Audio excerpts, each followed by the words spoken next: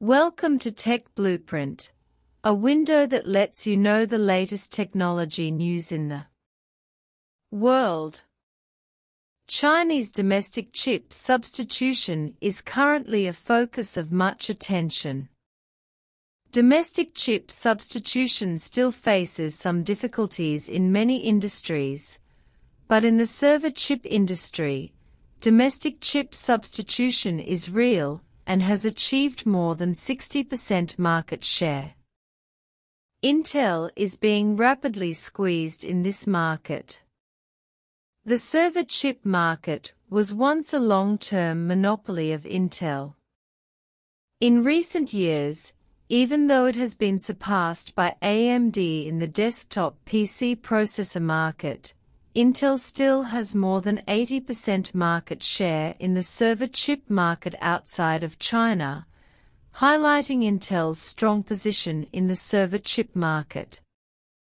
Enterprises are reluctant to replace server chips of other brands easily because server chips emphasize stability and reliability more than other industries. The reputation and ecosystem that Intel has established in the server chip market over the years have made companies such as data centers that use a large number of server chips dare not easily replace them.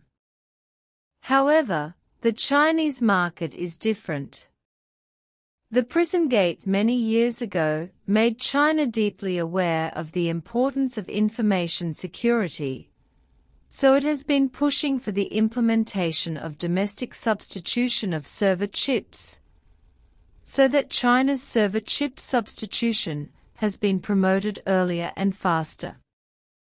The operating system also helps domestic server chips replace Intel. The operators of server operating systems are engineers. Engineers are different from ordinary consumers. They are more professional and can quickly become familiar with domestic operating systems. Therefore, domestic server operating systems have quickly replaced imported systems. It is reported that domestic server operating systems will have a 70% market share in 2023, and Microsoft's share in the server operating system market has been squeezed to 20%. Domestic server chip companies are also actively striving for this market.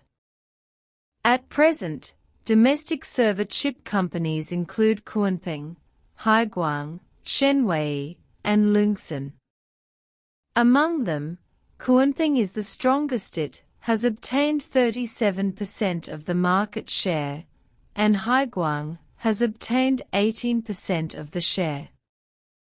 The competition among many domestic server chip companies has given domestic companies a variety of choices for purchasing server chips. They have squeezed Intel's share in the server chip market to about 39%. In addition to server chips, domestic chip substitution has also made great progress in industries such as home appliance chips and analog chips. Home appliance chips can even meet the micron-level process, and analog chips can be produced using mature processes that have been mass-produced in China, which provides strong support for domestic chips. Domestic storage chips have also made breakthroughs. Since the second half of last year, China's storage chips have once again launched a price war to grab the market. The prices of domestic memory sticks, solid-state drives, etc. are 30% to 40% lower than those of foreign chip companies. The affordable prices make many domestic consumers willing to choose domestic storage products. The substitution of domestic chips has greatly reduced China's chip imports. In 2023, China's chip imports will be around 350 billion US dollars, a decrease of 90 billion US dollars from 440 billion US dollars in 2021. China's reduction in chip imports has put pressure on some overseas companies. And what makes them even more uncomfortable is that China's mature chips are entering the international market. In 2024, China's chip exports exceeded 1 trillion renminbi, which is the first time that China's chip exports have exceeded 1 trillion renminbi. China's mature chips have been recognized by overseas companies.